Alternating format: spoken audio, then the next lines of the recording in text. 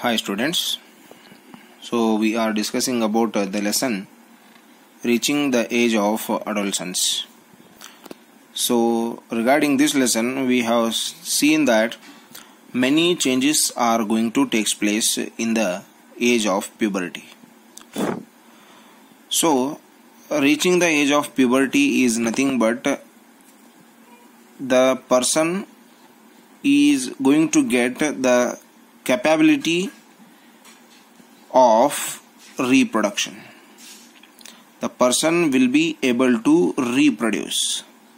So, that stage or that development is nothing but the puberty. So, in that, in our body, so many changes are going to take place so the sudden growth in the height the change in the voice quality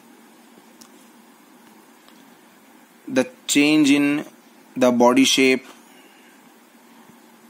Along with these the increase in the activity of the sweat glands and sebaceous glands is going to take place.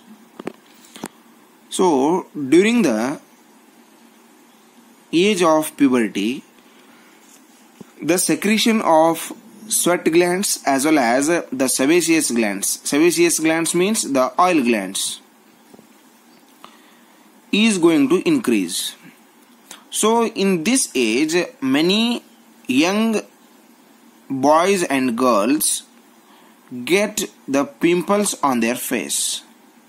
So at this time, because the increased activity of the glands in the skin so the sudden change is going to take place. To set itself to the changes it is not possible suddenly. So that time so many pimples are going to takes place. So, few glands such as the sweat glands, oil glands and salivary glands releases their secretions through the ducts. So the endocrine glands releases the hormones directly into the blood streams. So they are also termed ductless glands. So already we know that uh, in the endocrine and exocrine system uh, many glands are there so, due to the secretion of the glands in our body, uh, so many changes are going to take place. So, like that only here also, uh, the increase in the activity of the sweat glands and the sebaceous glands, many changes are also going to take place. So, skin will become uh, very smooth in the girls. So, in the boys it will become little harder. And as well as uh, uh, boys and girls also get pimples on their face. So along with the increase in the activity of the sweats and uh, sebaceous glands the mental intellectual and emotional maturity is also going to take place. So here uh, already we have discussed that at the age of adolescence so the boys and girls uh, almost they like to be very independent than the before. And uh, they are going to develop the self consciousness so the intellectual development takes place and uh, they uh, start to tend uh, spend the considerable time uh, with their friends and uh, they will start to think uh, their own. And in fact it is going to take place the time in one's life uh, when the brain has the greatest capacity for the learning.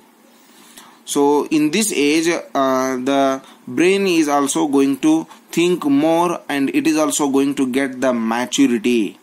So the thinking capacity uh, the intellectual capacity and the emotional uh, changes are also going to take place.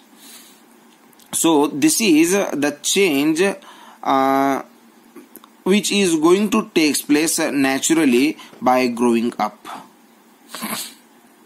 So more than all these uh, here we have to discuss the one more change that is the development of the sex organs. So in the before uh, lesson in the reproduction in human beings so we have seen that the male and female reproductive systems. So in that uh, the at the age of puberty the male sex organs like uh, the testis and penis are going to develop completely uh, due to the uh, release of the hormone called the testosterone. Due to the release of the hormone testosterone the testis and uh, penis develops completely and uh, the person will be uh, capable of uh, the reproduction and here due to this not only the release of the hormone, the production of sperms is also going to takes place. The testes also begin to produce the sperms. So in the girls, the two different types of hormones are going to release that is uh, the estrogen and progesterone. Uh, in the girls, the ovaries are going to enlarge and the eggs are going to uh, release and uh, they are going to become mature and also uh, here uh, we can see the testosterone sorry the progesterone and estrogen hormones are going to uh, become very active and uh, the activity of these two hormones will leads the production of the mature eggs is going to takes place so these are the many changes which are going to take place at the age of puberty. So along with this many hormonal changes are going to take place and uh, internally uh, many uh, emotional uh, changes are going to take place intellectual changes are going to take place and our glands they become active and they will start to uh, do their proper function. So under that uh, we will discuss the secondary sexual characters. So that is uh, about the gametes and uh, how they are going to release and uh, what the exact process is going to take place so regarding the secondary sexual characters, we will discuss in the next session. Thank you and have a nice day.